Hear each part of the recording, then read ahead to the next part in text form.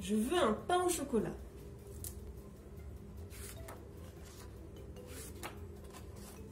En haut d'une colline se trouve une tour. C'est la tour de la princesse Bertie. Un matin, après avoir dormi des années entières, Bertie se réveille, monte tout en haut des escaliers pour regarder le jour qui se lève et dit Oh, j'ai trop faim. Je veux manger un pain au chocolat. Tout de suite. Et elle descend les escaliers de sa haute tour, prend la clé et ouvre la porte. Bertie se rend au village en bas de la colline, Je vais pouvoir trouver un marchand de pain au chocolat ici. se dit-elle. Oh là, brave homme, as-tu des pains au chocolat? demande-t-elle au premier marchand qu'elle croise. Non, mais je vends des chapeaux, répond le chapelier. Ce sont les plus beaux du pays, et si vous... Ouf, j'ai pas besoin de chapeau, dit Bertie en poursuivant son chemin. Ici, quelle est cette échoppe? Je veux un pain au chocolat, annonce-t-elle. Mais moi je ne vends que des épées de chevalier, répond l'armurier. Les plus solides du pays, et si vous... Euh, C'est pas ce que je veux, dit Bertie en s'éloignant. Et ici, oh beurre, ça sent trop mauvais. La princesse continue de chercher.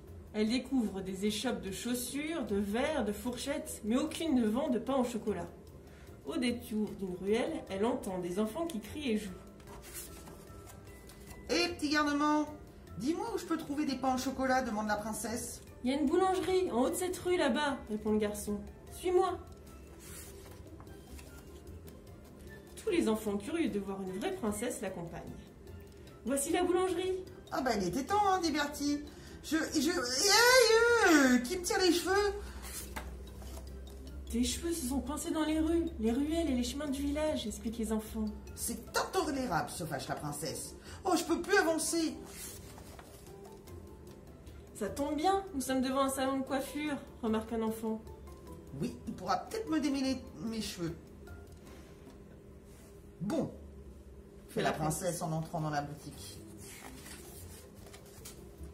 Je peux vous faire une coiffure digne d'une future reine, propose le coiffeur. Coupe-moi juste les cheveux, lui dit Bertie. Je suis pressée.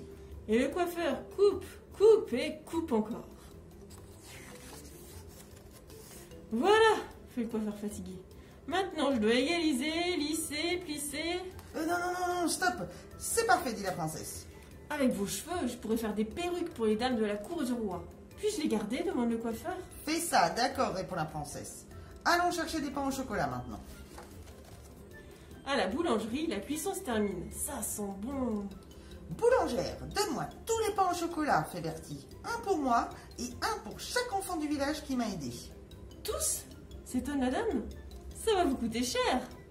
La princesse propose sa couronne en échange. Hum, miam, font les enfants. Et aussi, hum, et encore, ils sont tout chauds. Dans un grand tintamarre arrive alors un magnifique cheval monté par un chevalier. Et là, dites-moi les petits, où se trouve la tour de la princesse qui attend que je vienne la délivrer Je suis la princesse, s'exclame Bertie, et je t'attendais pas. Toi, une princesse, laisse-moi rire, fait le prince avec dédain. Tu n'es qu'une sorcière. Et sans plus un regard, il s'en va. Une sorcière? S'inquiète un des enfants? Oh, il est temps de rentrer, fait un autre. Euh, oui, oui, euh, nous devons partir. Au revoir. Euh, merci pour le pain au chocolat, petite sorcière. Bien, se dit Bertie, il est temps de rentrer chez moi aussi. Je reviendrai, mais d'abord, je retourne dormir quelques années.